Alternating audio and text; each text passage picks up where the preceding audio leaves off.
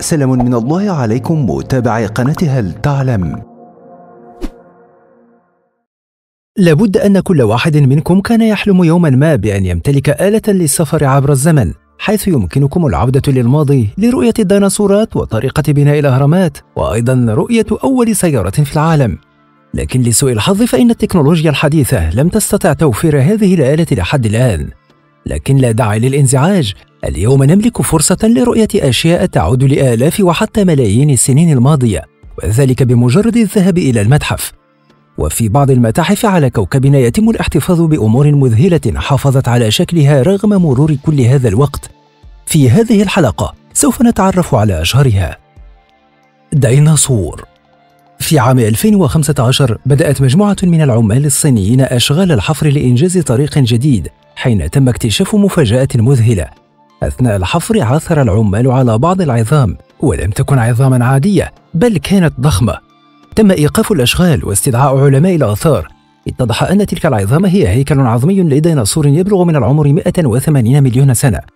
نعرف أن ذلك الرقم كبير جدا لكنه حقيقي.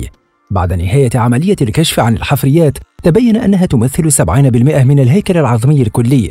يمكنكم رؤية عظام الأطراف الخلفية مع ثلاثة أصابع. إضافة إلى 13 فقرة من العمود الفقري وما يصل إلى 22 قطعة من عظام الذيل. هذا الاكتشاف نادر للغاية. يقول العلماء إن الهيكل العظمي ينتمي لديناصور من فصيلة ليفونغوسوريس والتي عاشت في الصين خلال العصر الجوراسي طول الهيكل الذي تم العثور عليه هو 5.3 متر. ويقول العلماء إن طول هذه الديناصورات يصل إلى حوالي 9 أمتار. بعد ذلك وعلى بعد 500 متر عثر العلماء على هيكل عظمي آخر لكنه كان في حالة أسوأ من الهيكل الأول. إذا كنتم تريدون رؤية الهيكلين فكل ما عليكم فعله هو التوجه إلى متحف العلوم في هونغ كونغ. انتهينا من الهياكل العظمية لكن يجب أن نخبركم أيضا بأن العظام ليست الجزء الوحيد المتبقى ليومنا هذا من الديناصورات. في عام 2011 اكتشف عمال مناجم كنديون اكتشافا صدم العالم. إنها مومياء ديناصور. تعتبر هذه المومياء أفضل أحافير الديناصورات التي حافظت على شكلها لفترة زمنية طويلة. قدر العلماء عمر هذه المومياء ب 110 مليون عام وهي تتواجد اليوم في متحف التيريل الملكي لعلم الحفريات. ALH 84001 سنتحدث الآن عن شيء مختلف عن بقية الأشياء التي سوف نتكلم عنها في هذه الحلقة. نعلم أن هيكل الديناصور مهم. لكن ماذا عن نيزك قادم من كوكب آخر؟ تم العثور على ELH 84001 عام 1984 في أنتاركتيكا على جبال آلان هيلز.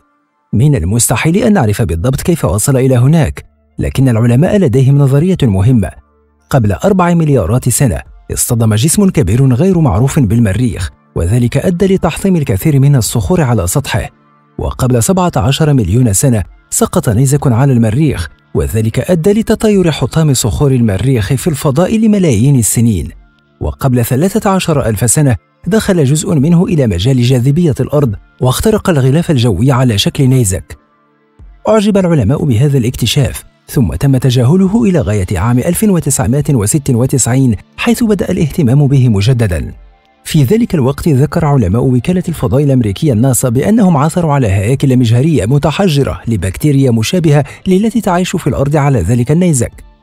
بالطبع يمكن أن تكون تلك البكتيريا من الفضاء، ومع ذلك فإن ALH 84001 يمكن أن يكون دليلا لوجود حياة على كوكب المريخ.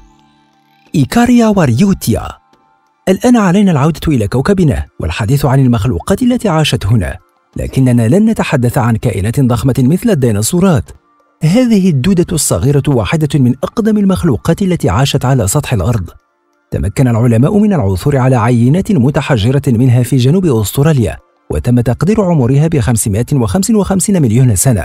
في ذلك الوقت كانت الكائنات واحدة الخلية تعيش لوحدها على كوكب الأرض. حجم هذه الكائنات لا يتجاوز حجم حبة الأرز، طولها حوالي 7 ملم وعرضها عند أوسع نقطة هو مليمتران ونصف.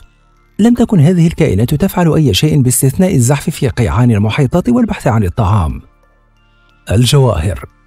ما يبدو من الوهلة الأولى أنه صندوق قديم به بعض النقوش. هو في الحقيقة نوع قديم من الوسائل التي استخدمها الأغنياء في مدينة مومباي الرومانية القديمة من أجل الحفاظ على مجوهراتهم. في ذلك الوقت لم تكن الخزائن الفولاذية التي يتم استخدامها اليوم لحماية الأشياء الثمينة موجودة وتم الاعتماد على هذه الصناديق التي صنعت قبل ألفي عام. يمكن القول بأنها آمنة أيضا وهي قادرة حتى على مقاومة الحمم البركانية.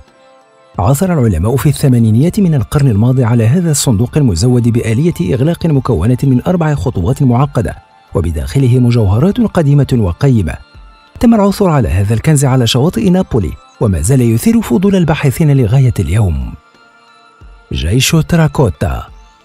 ربما يكون الاسم مألوفا. ليس من المستغرب أن يكون هذا الجيش من أكثر الأشياء جذبا للسياح في الصين كما أنه مدرج ضمن قائمة التراث العالمي من طرف اليونسكو. دعونا نتعرف عليه أكثر.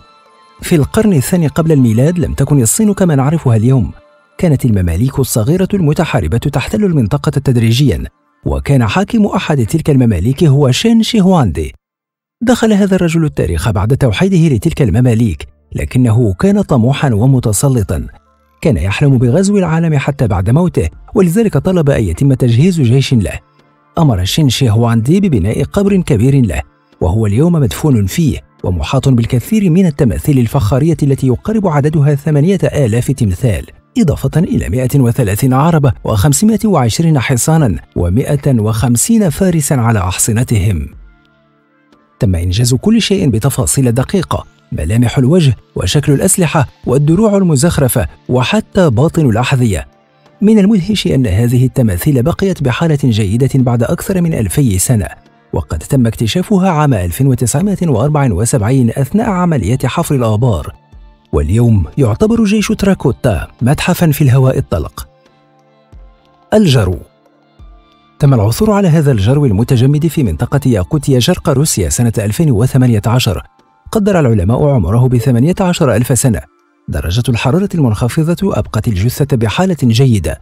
الجسم مغطى بالفرو والأسنان كلها سليمة.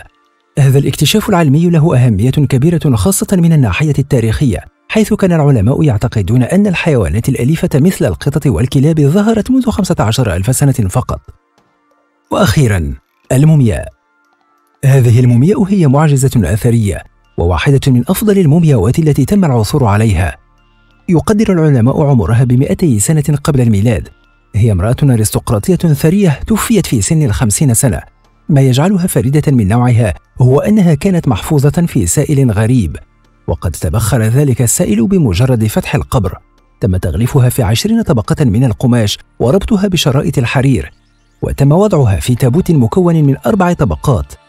كل ذلك ساعد في الحفاظ على الجثة وكأنها توفيت منذ أسبوعين فقط.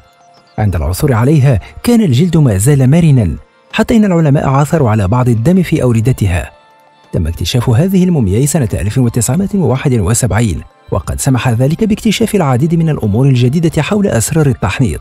كما وجد العلماء أن هذه المرأة كانت غنية وتتناول الكثير من المواد الدهنية ولا تتحرك كثيرا في حياتها اليومية. ولذلك أصيبت بالبدانة وتصلب الشرايين. إن عجبكم موضوع اليوم من قناة هل تعلم فلا تبخلوا بالإعجاب والاشتراك. يمكنكم أيضا متابعة فيديوهاتنا السابقة.